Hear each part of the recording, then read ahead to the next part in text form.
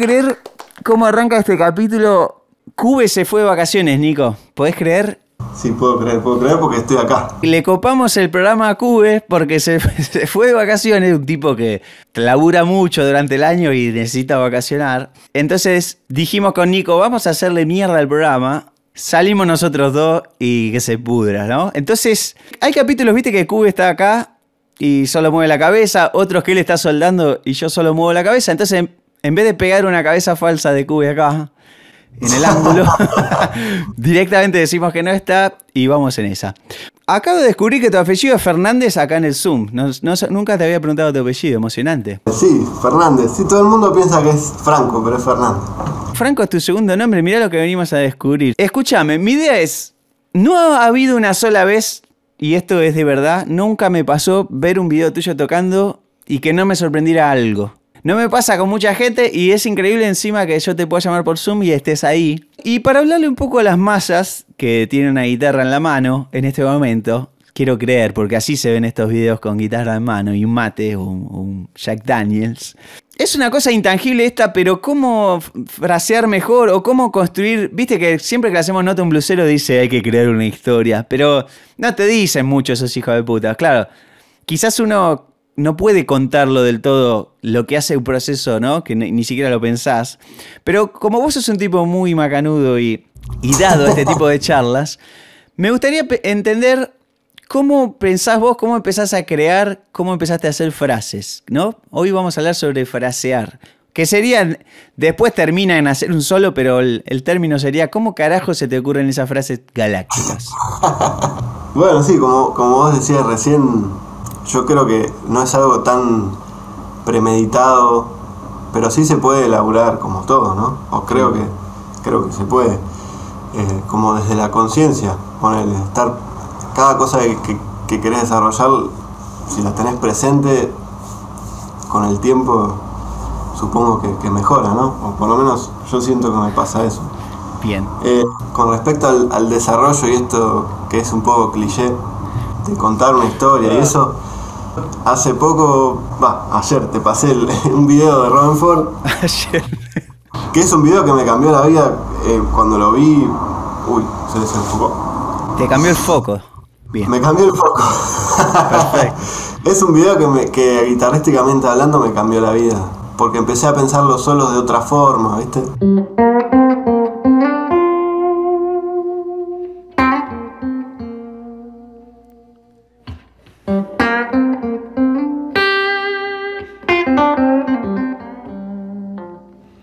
Video básicamente habla de que él cuando arranca un solo o el solo con las frases, mira, hasta me acuerdo de las frases, mira, chabón tira esto.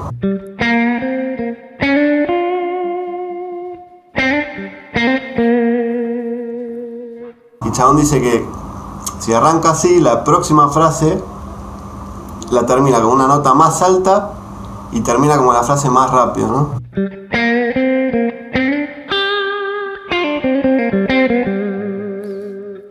Yo me acuerdo cuando, cuando escuché eso, lo entendí al toque y me, viste, me abrió mucho la cabeza, porque es verdad.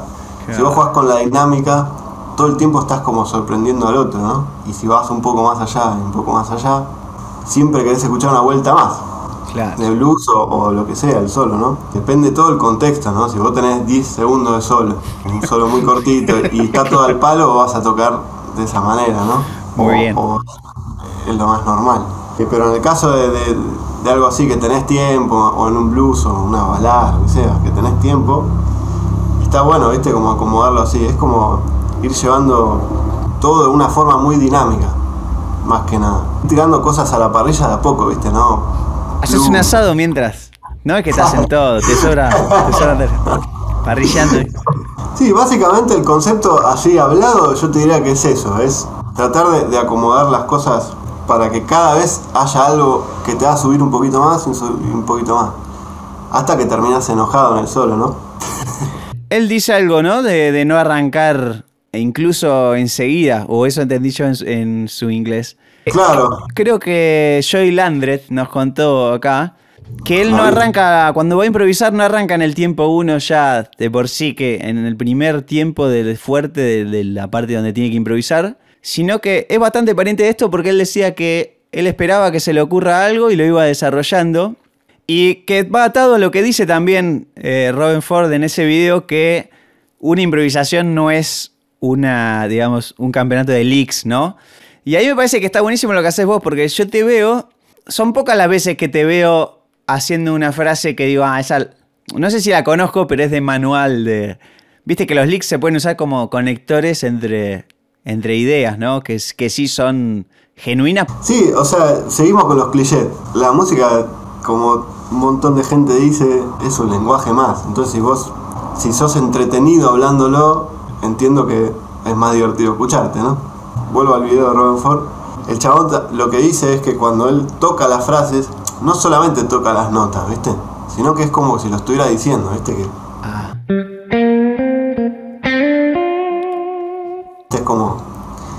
Muy como cantado. Y cuando se enoja es como que grita un poco más, ¿viste?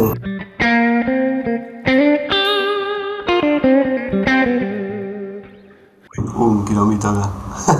No, no me importa. Sí, parece que estuviéramos transmitiendo desde la calle, pero le da más emoción. Es como un móvil, como en los noticieros. y vamos con Nico Franco, que no va No, no, hice tiempo para conseguir un micrófono, pero. Pero querido, no expliquemos nada. Pará. Y en el medio de todo lo que vos vas tocando, veo. También metes una, unas situaciones de, de dinámica que, es, que te salen innatas. O está bien que vos estás reproduciendo lo, de que recordás de Roberto, ¿no? Pero ¿cómo vas jugando también con la intensidad? Eso hace a la frase. Bueno, yo me fijo mucho en, los acentos, que igual es algo que, estoy entendiendo ahora, pero a él también se lo escucho, porque esta frase tiene como pico, ¿viste? O sea, tiene como notas que suenan más que otras, más allá de el chabón me gusta porque en el video recalca que no importan las notas. Después en otra entrevista de él está bueno que habla de, ¿viste los bluseros viejos que tocan todo desafinado? sí. Pero los chabones tocan con tanta convicción y tan seguro de lo que están tocando que vos no estás pensando en las notas. Bueno, perdón. Me... No, muy bien. Eh, entonces los acentos le dan como mucho sentido a la frase. Si yo toco no puedo tocar sin acento. Claro, directamente. Pero si vos tocas las notas todo así plano, no tiene mucho sentido. Es como hablar, ¿viste? Como hablo yo, que soy bastante aburrido así todo. Para hablar era malísimo, chavo. Solo. La verdad que no es lo, que mejor se me da. Sí, le, doy mucha bola a los acentos. Más incluso que lo que estoy tocando en cuanto a notas, como decía. Bien, pará, y acá, acá te la voy a pudrir. Me encantó lo que dijiste. Eh, hasta ahora excelente. Partiendo de eso, ¿a dónde irías? ¿A dónde te lleva eso? Una vez que tenés una célula, agarremos la de Roberto, si te parece. La de Robin. Una, vez que tenés esa célula, ¿vos cómo, qué se te ocurre?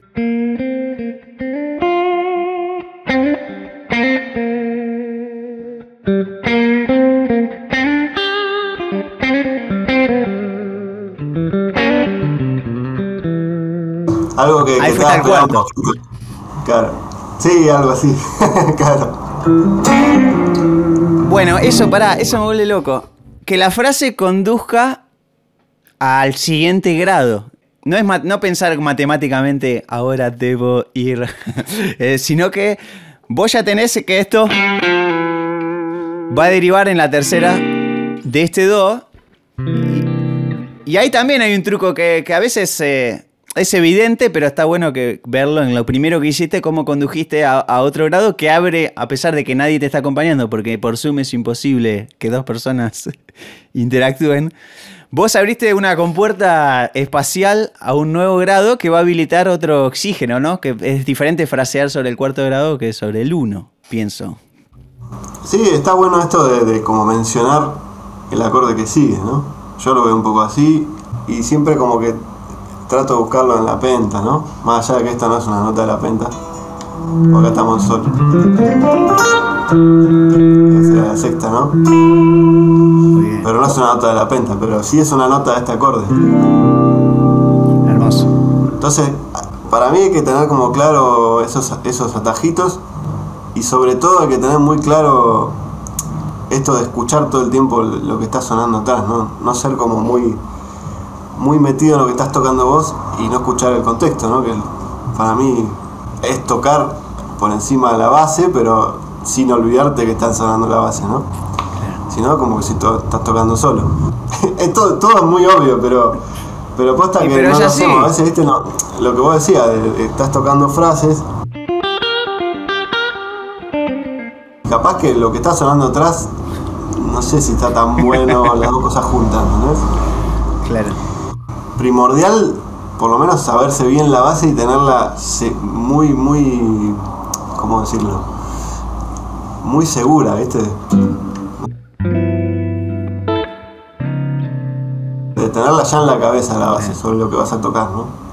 Una cosa es tocar solo, porque a veces yo te veo tocando solo y por ahí es más laxo el, contexto rítmico, porque al no tener un chabón que te dice ahora cuarto, quinto, igual ahí la rompes. Pero lo que te veo que también se te da muy bien es que cuando tocas sobre una base, tu apego al ritmo de la base es notable porque fraseas rítmicamente, nunca tropezás rítmicamente, lo cual eso hace que todo sea más musical. Ahora entiendo lo que, lo que vos decís de, de escuchar la base, que parece una pelotudez, porque si no uno diría, ¿cómo mierda vas a tocar arriba una base si no la escuchás? Pero es muy normal que uno se cebe en su senda de licks y de frases y no esté prestando atención al No, claro. tempo y que tus frases, por ahí si tocas todo para adelante o, o muy para atrás, generalmente tocar para atrás del beat le da onda, pero si llegas a todas tarde sin onda, también es una verga. Le da onda, pero cuando es a propósito. Si vos tenés tan, ta, que si tirás una tónica, esa caiga tután, que coincida con. Viste que cuando, o sea, cuando uno cae en un lugar que no quiere, se nota. O sea, vos estás tocando y caes en un lugar que no querés, te das cuenta vos, porque no, no te gustó, y el otro te lo- se lo transmitís.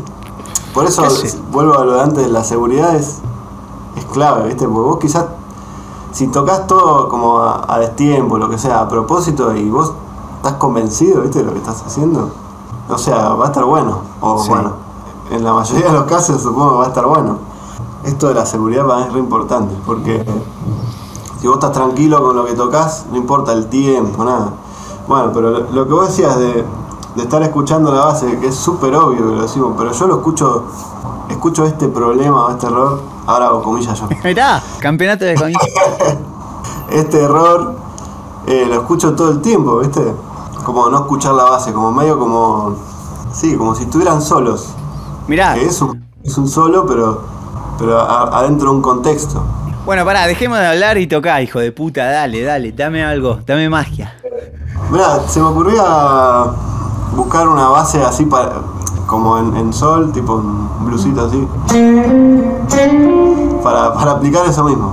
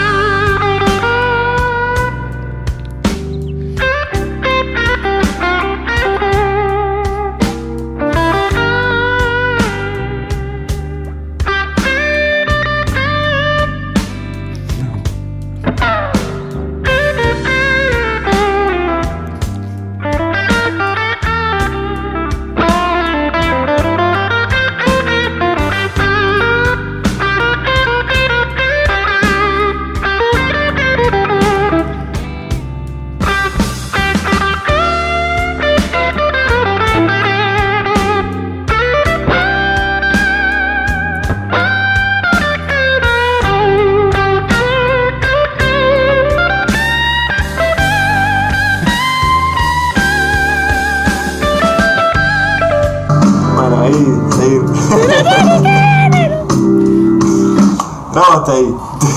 Vamos hasta ahí. Qué Porque bueno, lindo. ahí seguir, seguir subiendo y seguir subiendo, ¿no? Primera pregunta que tengo para vos. Creo que fue Cube que me lo dijo, porque se lo había dicho un Armani, creo, que es muy difícil tocar un género que uno no escucha. Y me parece que eso, eso me pasa a mí bastante cuando me pongo a, a tocar sobre una base de blues. No tengo tan escuchado el blues, no es que me cuelgo. ¿Vos sí has curtido una cantidad de horas de blueseros o no necesariamente? Escuché mucho blues, pero no, no toco así tanto blues como Neto, digamos, no sé Claro. cómo decirlo. Me gusta más tocar otras cosas, pero consumo mucho el, el lenguaje de lo que estamos hablando antes. O sea, Eso. me gusta escucharlo mucho, no lo toco tanto. Por más que vos lleves, evi- tenés como un apego más a, no sé, tenés un estilo que va por ahí más a una bonamasificación, ¿no? Como más moderno, más, más rockealo, pero es evidente que vos en algún lugar tenés como frases de negros cantando. Escucho un negro cantando cuando te escucho tocar. ¿Estoy crazy? Es espectacular. no, la verdad es esa, lo tengo muy escuchado, no así tan tocado. Claro. O sea, sí, igual sí, toco todo lo que toco es súper blusero. A lo que me refiero no tan tocado es, quizás no me, no me tomé el laburo suficiente, creo yo, de poner un blues y tocar sobre un blues todo el tiempo. Pero sí lo que me gusta hacer es, en canciones, llevar ese lenguaje, ¿viste? Y encima, bueno, ahora estoy muy con, con Derek Tracks y esa onda. Eh, vi tu video, espectacular. El de recursos, recursos expresivos me encantó Con un dedo. que tiene, tiene que ver con eso, claro. Y es como todo muy cantado, ¿viste? Lo mismo que decía Robin, llevado a otro estilo, porque Robin es como más yacero, si se quiere, o más fino, ¿viste? Y Derek, bueno, hace todas estas cosas más vocales, ¿viste? Todo eso que está buenísimo. ¿Qué te parece? Pero sí, no, no. Yo tampoco tengo tanto tocar así, ¿viste? Horas arriba de blues. Pero está bien, pero lo- es evidente que lo escuchaste. Eso digo porque a veces uno... Claro. No, claro, sí, sí. No sé si le pasa a las generales, a, la, a todos, a todes, a todos. Claro, yo me pongo a tocar sobre una vuelta de blues y ya la segunda me escucho estar como medio en piloto automático y ya, ya no escucho a negros cantando. Y en vos veo que, que viene ese lenguaje, está muy presente, que no es un chabón que está chamullando, si bien, como vos ya dijiste, ya te hemos entrevistado, no, no te sentís un guitarrista de blues. No sé, lo digo como una recomendación al que está buscando acercarse a estos fraseos, que también hay una etapa de, como así como los escritores leen y los que hacen películas ven, ven películas. No, no, claramente, sí, hablar. O sea, el obtener lenguaje y tenerlo presente en, en la oreja, digamos, es re importante. Sí, escuché muchísimo. Creo que escuché muchísimo más de lo que toqué, eso seguro. Me gusta. Sí, sí, sí, pero para mí es re importante porque a veces uno está tocando y se te vienen como formas de terminar la frase o, o lo que sea que, que ya escuchaste, ¿entendés? Entonces como que las intentás reproducir, mayormente no es lo mismo que escuchás, entonces termina siendo algo más original o, o tocado a tu forma Claro. y eso está buenísimo, creo yo. Y después, volviendo más a la parte del solo, el- de lo que hablábamos más al principio, está buenísimo ir pensando el solo como, bueno, eso, como ir subiendo, ¿viste? Y a medida que vas tocando, ya ir como sabiendo a, dónde querés ir, ¿viste? No tan pensado, obviamente no. Uno no está pensando, bueno, voy a ir al traste 10 y no. Pero sí al, lugar donde querés llegar, ¿viste? Yo como que fui tocando, empecé con la frase de Robin, ¿no? Y creo que en la segunda vuelta ya, ya estaba acá. Típico jeite así medio Stevie. Y medio que ya llegaste acá. Es bastante alto en la viola. No digo que vas a tocar acá, ¿no? Pero, claro, se entiende. Entonces yo cuando estaba acá digo, bueno. Inconscientemente dije, dije, bueno, cuando sea, no sé, cuando pase un poquito más de tiempo en el en tema, en, en la vuelta, de alguna forma voy a tener que subir un poco más. Entonces llegué hasta acá, ¿viste? Y es como ir pensándolo un poco así, no tan pensado como, vuelvo a repetir, es como algo más inconsciente o de ir escuchándolo, ir viendo cómo podés subir más, a menos que quieras terminar el solo ahí, ¿no? O quedarse ahí pero tocarlo más fuerte también. Más, más Bogan. Y sobre todo, como te digo, es escuchar mucho. Porque te, vas a- te, das cuenta de un montón de cosas escuchando. Algo que, que me parece muy bueno que yo, desde que lo que empecé a hacer hace dos años, me di cuenta de, de todos mucho, de todos los problemas que tenía en ese momento, por lo menos eh, con la guitarra, ¿no? que grabarse, o sea, grabarte en tu casa, cada vez que, que practicás o tocas o lo que sea, pones el celular ahí, te grabás y después, cuando tenés tiempo, mirás, grabarte y filmarte, digo, ¿eh? mirarte Ah, para que puedas ver cómo tocas todo. Yo me di Para cuenta más sufrimiento. Y es, es duro, pero pero llega un momento que, que- que te la bancás, o sea, y, y te das cuenta de muchas cosas que haces. Yo hasta me di cuenta de, cómo- no sé, de la mano, no sé, un montón de cosas. Claro. Y nada, eso, escucharse desde otra perspectiva que no es mientras estás tocando, para mí es clave. Qué A mí me sirvió muchísimo. Bien, y ahora una consulta. Recién mostraste unos ejemplitos. Veo como que son frasecitas cortitas que son recontra el género. ¿Cómo pensás en una frase más larga? Porque recién me mostraste como unos ejemplitos. En el, en el camino hay de estas cosas que, que ya te suenan. ¿Cómo, ¿Cómo pensás si decís, bueno, ahora voy a mandar una frase doble ancho? ¿Qué tenés? Y en realidad nunca es una frase, sino que son todas como frases pegadas, ¿no? Pero, pero entiendo lo que decís. Ah, Y la, la, la típica de, de Bon, de Bogan, esa.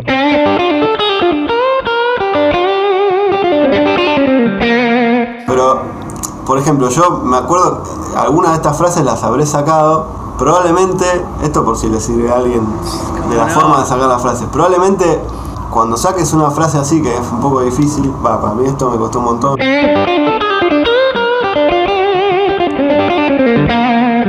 Todo eso me acuerdo que para mí era nota por nota ahí. Claro, no, yo lo que, lo que hice que me acuerdo es sacar como, dividir todo en frases, ¿no? Primero, cuando descubrí que podía hacer esto, dije, wow, eso no lo escuché nunca. Después, bueno, lo puedo usar en otro lado. Para sacar una frase larga, tratar de, de- de dividir esa frase en cinco frases, ¿no? Y usarlas mucho, además. Y en un momento vas a ver que las unís y, y suena espectacular. O sea, Muy lindo. la clavás. Sí, sí, a mí me pasó, ahora me, me, me hiciste acordar. Textual con una de, de Bonamassa, bueno, esas son re difíciles, ¿no? Pero yo ni a palo podía tocarla así como completa, ¿viste? Esa frase.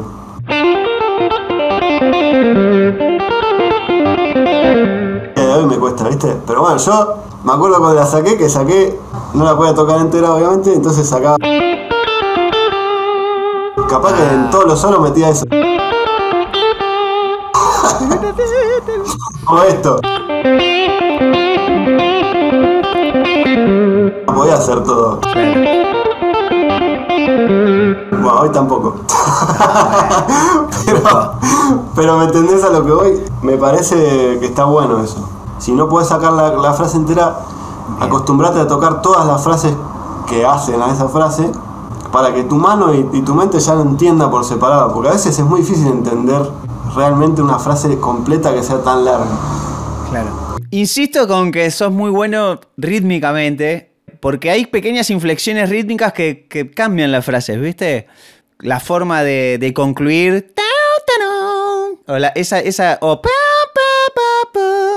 Como que son las mismas notas, pero vos la- las vas llevando de una manera que podés resolver. Tenés varias resoluciones para un mismo, por ahí, eh, un mismo sector de la pentatónica. Y rítmicamente las. Como que le das más vida, no estás pensando. Es evidente que no estás pensando de memoria, sino que de- dependiendo del caso, podés, eh, como canté recién con gran talento, podés resolver rápido, lento. Pero. Igual te entendí, te entendí perfecto, así que la cantaste bien. Ah, soy, soy un virtud. No, lo que digo es que, que le presten atención a eso también, que un mismo sector, tres notas.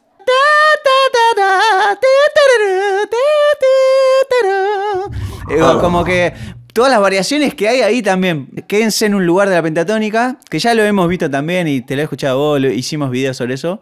Pero cómo jugar rítmicamente con una misma célula puede otorgar nuevas frases. Por ejemplo, tenés una frase esa que vos decís. Por ejemplo, ¿no? Es muy loco porque hasta cambiando el micrófono a la viola es otra cosa. Si vos la, l- usás el, el mic- el del puente, ¿no? Y le tocas más agresivo, pero tocas lo mismo, no es lo mismo. Hermoso. Pero viste que hay gente que toca, por ejemplo, siempre el mismo micrófono y todo, y para mí le, le decís esto y le destrabás. Te va claro. Me gusta. O tocando acá atrás. No es lo mismo acá. Claro. O sea, ni siquiera cambiando las notas, a eso me refiero. Por eso vuelvo a lo que decía al principio de la mano derecha. Si vos te sabes dos o tres frases, pero sos, o sea, sos muy dinámico, tenés un montón de cosas para decir, ¿viste? Y bueno, es, es eso, es decirlo de otra forma, en vez de tocarlo así. O sea, usar otro micrófono y tocar acá. ¿Viste? O hacer el vibrato más fuerte. Viste, cambia mucho la historia.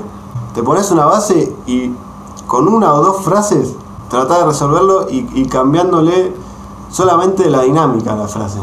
Quizás la acentuación también, obviamente. Y de última, alguna nota le puedes cambiar. Pero no más que eso, ¿viste? Como tratar de, limitarse para, para poder crecer más, digamos. Yo, yo hago mucho eso. Toco trilisgón, pero uso una sola posición de la penta y tengo que defender un solo de cuatro vueltas con una sola posición. Y a la larga terminás teniendo como más recursos encima en, en esa posición, etcétera, Sí. etcétera. No tiene tanto que ver con lo que estamos hablando. No, pero- sí, es como, como decir hijo de puta. Ese tipo es un hijo de puta. O decir, ¿qué hijo de puta? Mira Claro. lo que hizo. Es exactamente lo mismo. Claro, es, es espectacular.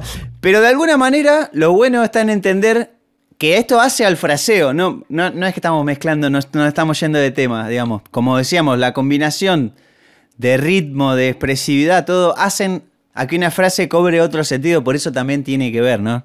Yo quería hablar específicamente de cómo se te ocurren esas frases gloriosas.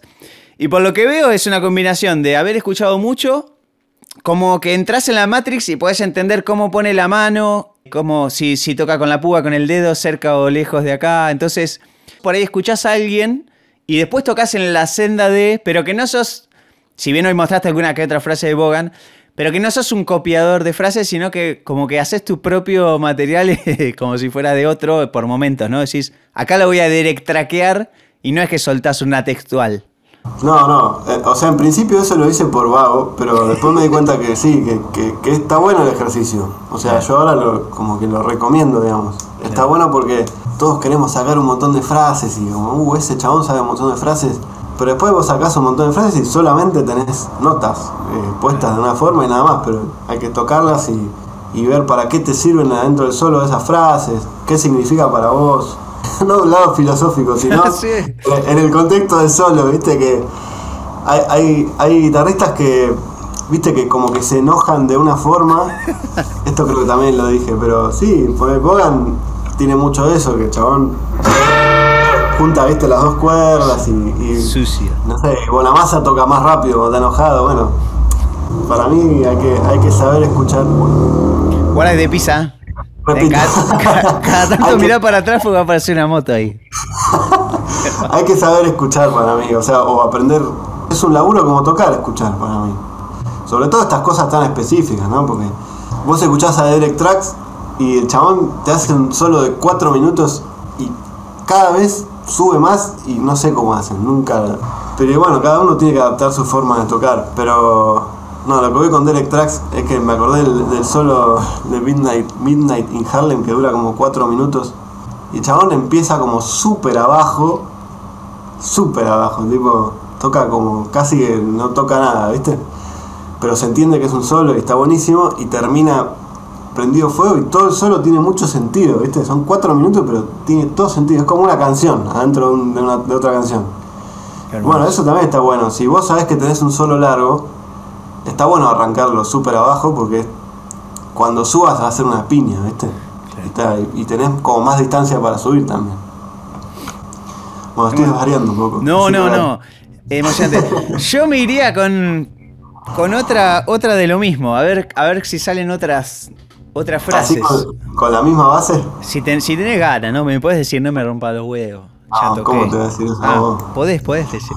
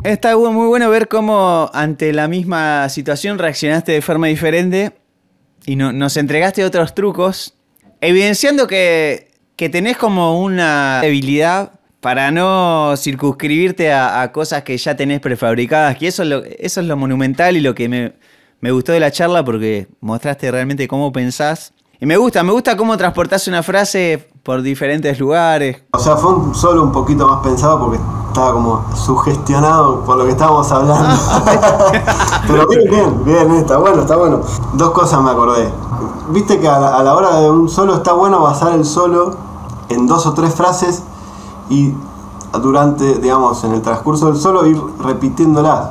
Eso a mí me interesa mucho. Ah, bien. Y lo escucho mucho en estos tipos de guitarristas. Robin Ford, Larry Carlton, un montón. Que es como que se, se apegan como a un motivo principal del solo y lo van desarrollando y cada tanto vuelven a ese lugar. Quizás lo tocan de otra forma o en otro lugar, pero vuelven a eso, ¿viste? Recién como que traté de hacer algo así. Estuvo muy bien. No, funcionó. Me pero. Bueno, y después eso de, tocar la misma frase que, yo decía antes, de tocar la misma, frase, pero con otra intensidad, ¿viste? Ahí creo que algo de eso mandé, como que. Como que la toqué así y después toqué lo mismo, pero mucho más agresivo, ¿viste? Ese tipo de cosas están muy buenas de ver y, tratar de, llevar por ahí el solo. Porque te acomoda mucho además. Para mí dinámicamente hablando, ¿no?